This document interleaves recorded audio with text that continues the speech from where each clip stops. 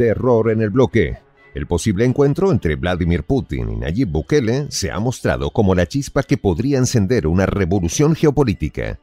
Con la reciente reelección de Bukele y su visión audaz de un El Salvador soberano y próspero, se abren las puertas para una alianza estratégica con Rusia, un gigante que ha resistido las sanciones y las presiones occidentales con una resiliencia envidiable. Así lo dio a conocer Félix Ulloa, vicepresidente de El Salvador, quien ha dejado claro el tema. Las sanciones no frenarán a una Rusia autosuficiente, y El Salvador está listo para aprovechar las oportunidades que el BRICS y el nuevo Banco de Desarrollo ofrecen. Mientras tanto, Biden y sus aliados observan con recelo. Entonces, ¿será este el principio del fin para la tiranía económica de Occidente? Los detalles a continuación.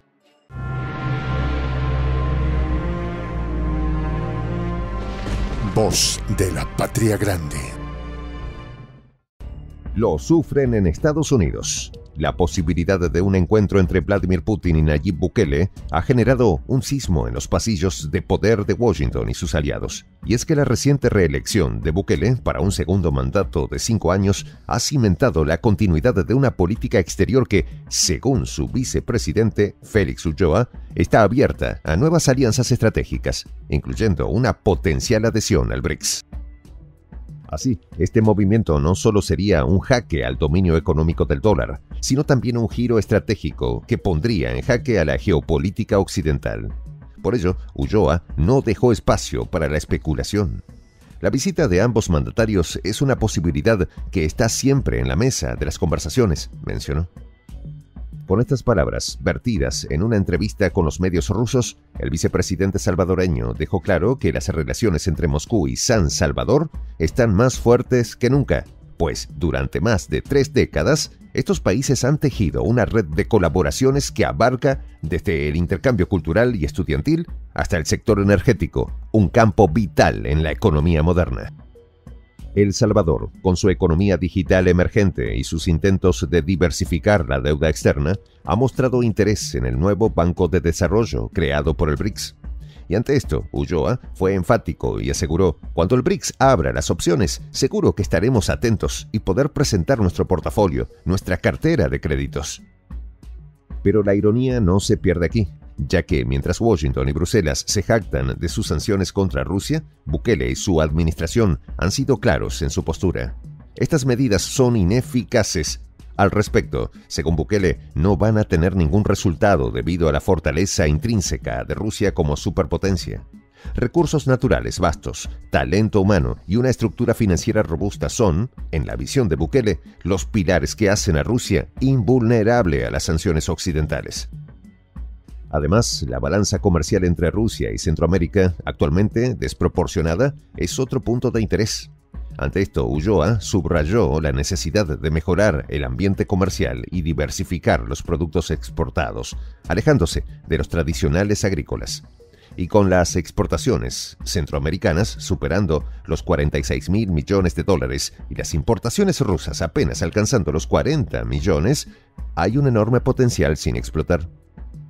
En este contexto, El Salvador se presenta como la puerta de entrada a Centroamérica para los inversionistas rusos, quienes, según Ulloa, ya han mostrado interés en la región, por lo que la posibilidad de inversiones rusas en sectores clave de la economía salvadoreña es una perspectiva que seguramente está provocando noches de insomnio en la política exterior de Washington.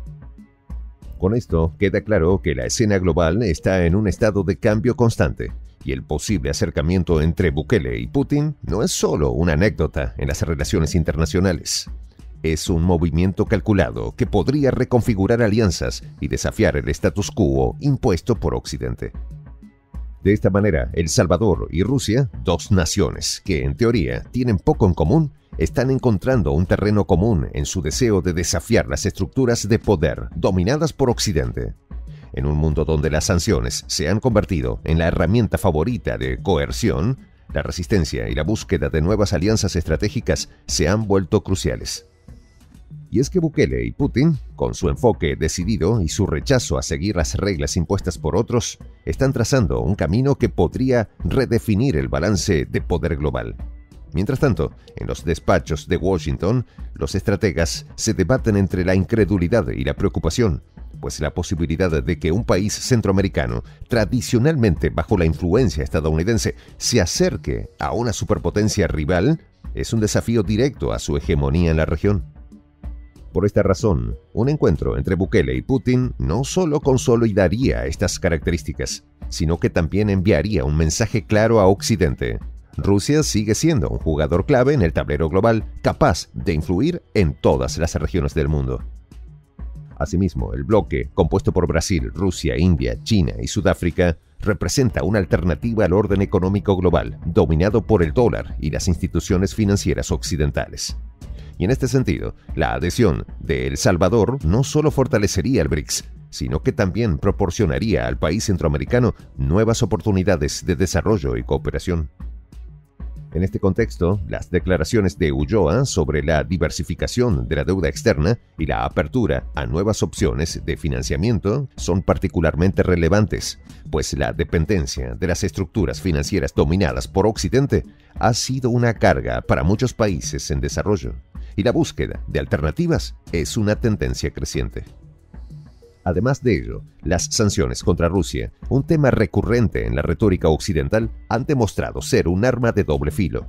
Mientras que buscan debilitar a la nación, han forzado a Rusia a volverse más autosuficiente y a buscar nuevas alianzas. Al respecto, el rechazo de El Salvador a votar en las sanciones de la ONU es un claro indicio de su postura independiente. No consideramos que este mecanismo de presión sea el que vaya a regir las relaciones internacionales entre los estados, así afirmó Ulloa, subrayando una visión de la diplomacia basada en la soberanía y el respeto mutuo. De esta manera, países que se niegan a ser subyugados por las potencias dominantes están encontrando nuevas formas de colaboración y apoyo, por lo que la posible alianza entre El Salvador y Rusia es un capítulo más en esta historia, uno que promete desafiar las expectativas y remodelar las dinámicas globales.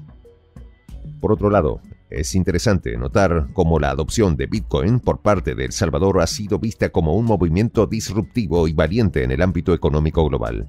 Al igual que la potencial alianza con Rusia, este paso refleja la disposición de Bukele de desafiar las normas establecidas y buscar nuevas soluciones para los problemas económicos de su país. Y respecto a ello, la integración de tecnologías emergentes y la búsqueda de alternativas a las estructuras financieras tradicionales son estrategias que podrían llevar a El Salvador a un nuevo nivel de desarrollo y prosperidad. Además, la inversión rusa en sectores clave de la economía salvadoreña podría tener un efecto transformador, ya que la experiencia y los recursos de Rusia en áreas como la energía, la infraestructura y la tecnología podrían ayudar a El Salvador a superar muchos de los desafíos que enfrenta actualmente. Mientras tanto, la respuesta de Occidente a esta posible alianza es predecible. La hostilidad y el sarcasmo con que han reaccionado no son más que un reflejo de su temor a perder influencia en una región que tradicionalmente han considerado bajo su esfera de control. Por ello, la visión de Bukele de un El Salvador independiente y soberano, capaz de tomar sus propias decisiones y buscar sus propios caminos, es una inspiración para otros países que se encuentran en situaciones similares. Putin, por su parte, continúa demostrando su habilidad para adaptarse y prosperar en un entorno global en constante cambio. Su capacidad para forjar alianzas estratégicas y desafiar las estructuras de poder dominadas por Occidente es un testimonio de su liderazgo y visión. De esta manera, este posible encuentro entre Bukele y Putin no es una simple casualidad, sino un golpe maestro que deja a Biden y sus aliados occidentales sudando frío mientras Washington se revuelca en su desesperación por mantener su decadente dominio, líderes como Bukele y Putin están construyendo un nuevo orden mundial, donde la soberanía y el desarrollo no están sujetos a las garras del dólar. Por ello, no cabe dudas de que El Salvador, con su audaz adopción de Bitcoin y su potencial adhesión al BRICS, está reescribiendo las reglas del juego global pues Bukele no solo desafía, sino que se ríe en la cara del viejo orden occidental. Mientras Biden intenta en vano reparar su tambaleante hegemonía, Bukele y Putin están forjando alianzas que prometen un futuro más justo y equilibrado. ¿Cuánto tiempo le quedará entonces al imperio de sanciones y manipulaciones de Occidente? Pues la historia la escriben los audaces, y El Salvador está tomando la pluma con un descaro que Biden solo puede envidiar. Soy el J, Juan José del Castillo, director del canal Prensa Alternativa. Si quieres ser parte de la comunidad de la Patria Grande, suscríbete a nuestro canal. Si es que quieres que te lleguen las notificaciones cada vez que subimos un video, activa la campanita. Si quieres apoyar a nuestro canal económicamente, puedes hacerlo a través de PayPal. El enlace está en la descripción del video. A nombre del equipo de prensa alternativa, me despido con esta expresión en el quechua milenario.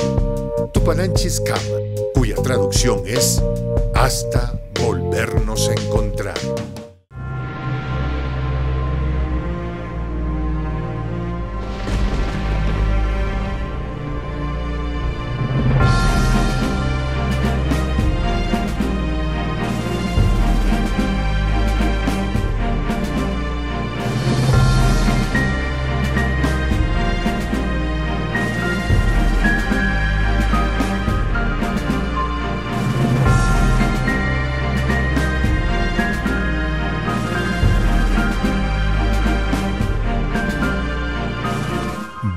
De la Patria Grande.